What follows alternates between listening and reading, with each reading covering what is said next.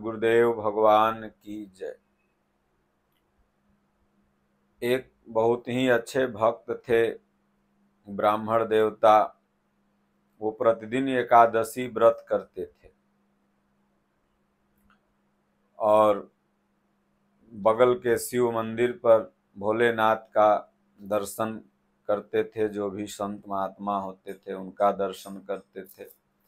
उसके बाद अपना घर में आके द्वादशी के दिन पारण वगैरह जो भी करते थे,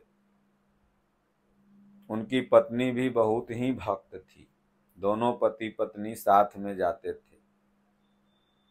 वर्ष की अंतिम एकादशी थी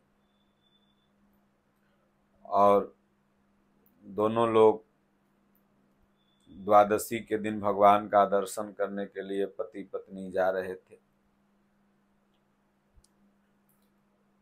पत्नी थोड़ा पीछे चल रही थी।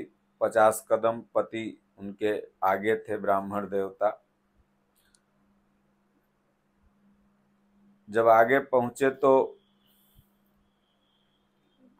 सोने का बहुत ही सुंदर हार अंगूठी से भरा एक पर्स वहीं गिरा पड़ा था। आधा सोना बाहर दिख रहा था, आधा अंदर था। ब्राह्मण ने सोचा कि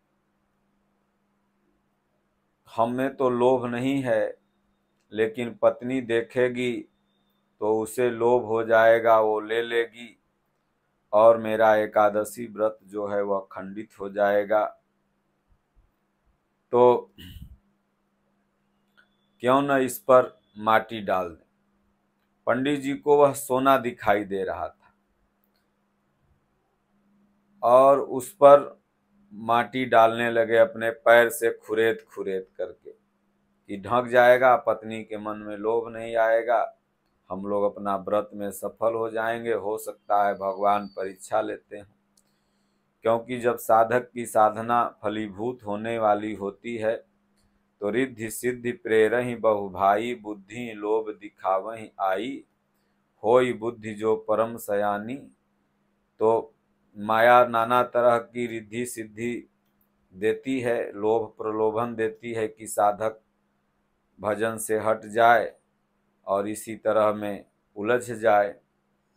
लेकिन जो कृपा प्राप्त गुरु के शिष्य होते हैं, वो इन सब चीज़ों से धीरे धीरे दिखेगा कि वो हैं, लेकिन मन से उनके प्रति आसक्ति नहीं होगी उन वस्तुओं से।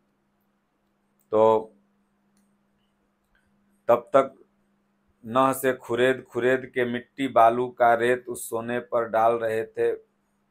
पंडित जी पत्नी पहुँच गई। पत्नी उनसे भी बड़ी भक्त निकली। वो तो सोच रहे थे कि पत्नी मेरी लोभी होगी, लेकिन उसने कितना सुंदर जवाब दिया। बोला, अरे पति देव ये माटी पर माटी आप क्या डाल रहे हैं? चलिए माटी पर माटी मत डालिए, भोलेनाथ को जल ढारने का समय हो रहा है। महात्मा जी के सत्संग का समय हो रहा है। चल के दर्शन कीजिए, सत्संग सुनिए, ये माटी पर माटी मत डालिए।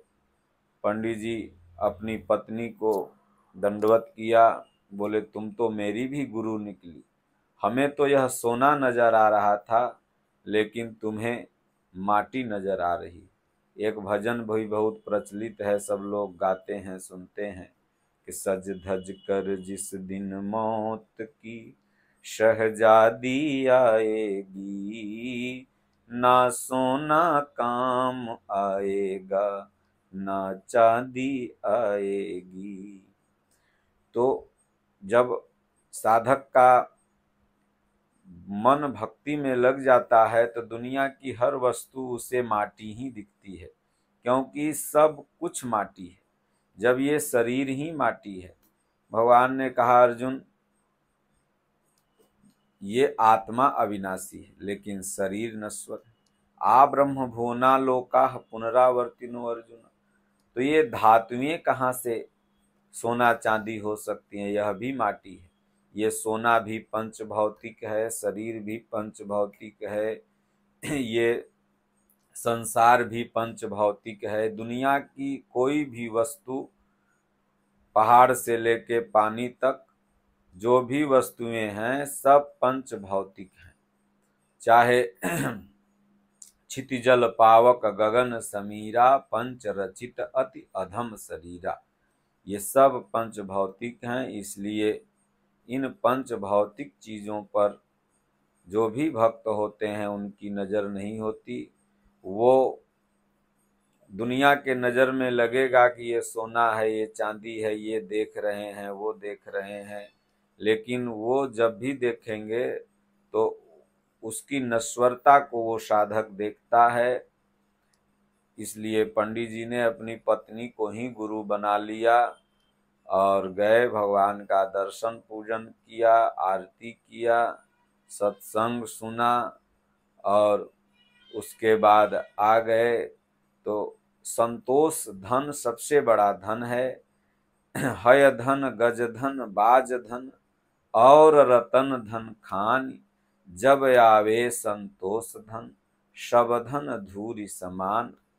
इसलिए इस संसार में वही सुखी है। जो संतोषी है।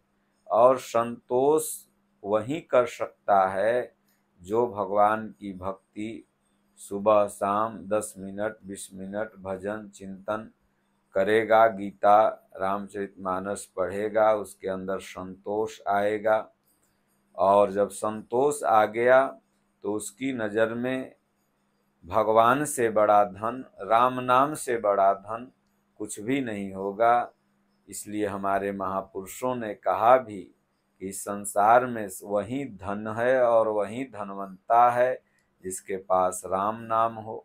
कबीरा सब जग निर्धना, धनवंता नहीं कोय, धनवंता सोई जानी हूँ जहाँ राम नाम धन हो इसलिए एकादशी का मतलब होता है, एकादशी एक मन बसकर सेवह जाय। सोई व्रत कर फल पावई, आवागमन नसाय। जब मन की दशा एक हो जाती है, एक परमात्मा में यह मन लग जाता है, अभी यह अनंत दशाओं में भटक रहा। इसकी दशा अभी अनंत है। अभी यह रुक नहीं रहा है। लेकिन जब भजन चिंतन करते करते इसकी दशा एक परमात्मा में लग जाती है, ये अभी दशानन बना हुआ है। जब भजन करके दशरथ बन जाता है तो एकादशी एक मन बस कर सेवह जाय। जब मन वश में हो जाता है तो सोई व्रत कर फल पावई आवागमन नसाय तो फिर उस व्रत का फल है कि आवागमन से संसार के बंधन चक्र से जीव को मुक्ति मिल जाती है। इसलिए पंडिताइन ने कहा, क्या माटी पर माटी डाल रहे हैं पति देव? क्योंकि उनकी मन की दशा एक हो चुकी थी। व्रत का मतलब होता है प्रतिज्ञा, व्रत का मतलब होता है दृढ़ता, व्रत का मतलब होता है टेक।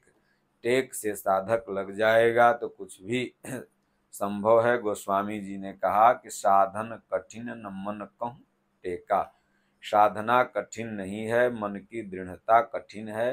मन ही टिकता नहीं, इसलिए मन को टिकाने का ये व्रत उपवास सब तरीके हैं और वास्तविक व्रत है कि मन की दशा को एक कर देना, वह होगा भजन से, इंद्रिय संयम से, इसलिए चलते, फिरते, उठते, बैठते, सोते, जागते, जब ऐसा रहेगा तो संसार में मन को नस्वरता दिखने लगेगी, फिर उसके सामने सोना होगा, चांदी होगा, कुछ भी होगा। सुंदर स्त्री होगी, कुरूप स्त्री होगी, सब कुछ उसको माटी नज़र आएगा, क्योंकि सब पंच भौतिक है, सबका एक न एक दिन विनाश होगा। इसलिए चलते, फिरते, उठते, बैठते, नाम जपें धीरे धीरे एकादशी की अवस्था में आप पहुँच जाएँगे। बोलिए श्री सदगुरुदेव, भगवान की जय।